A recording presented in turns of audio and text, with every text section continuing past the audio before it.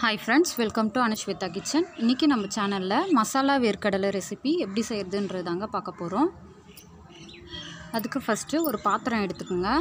பாத்திரத்தில் நான் ஒரு கப் அளவுக்கு வேர்க்கடலை எடுத்திருக்கேன். இது நல்லா வறுத்த வேர்க்கடலை. அப்படி வறுக்காத வேர்க்கடலையான நீங்கள் வறுத்துட்டு சேர்த்துக்குங்க.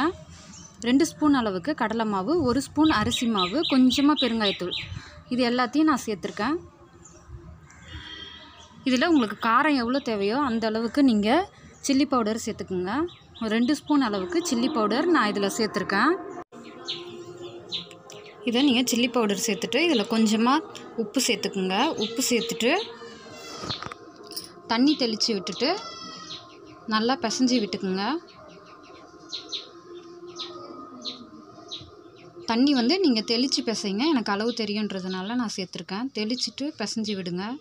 இந்த மாதிரி கோட்டாகி வரணும். இப்போ நான் வந்து ஒரு கடாயில் ஆயில் நல்லா நான் சூடு பண்ணி வச்சுருக்கேன். இதில் போட்டு பொறிச்சு எடுக்க போகிறேன் கொஞ்சம் கொஞ்சமாக போட்டு பொரித்து நம்ம எடுத்துக்கலாம்.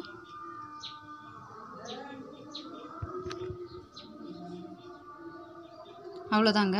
வேர்க்கடலை மசாலா வேர்க்கடலை சூப்பராக ரெடி ஆகிடுச்சு நீங்களும் வீட்டில் இதே போலே ட்ரை பண்ணி பாருங்கள் ட்ரை பண்ணி பார்த்துட்டு கமெண்ட்ஸ் பாக்ஸில் மறக்காமல் கமெண்ட்ஸ் சொல்லுங்கள் தேங்க்யூ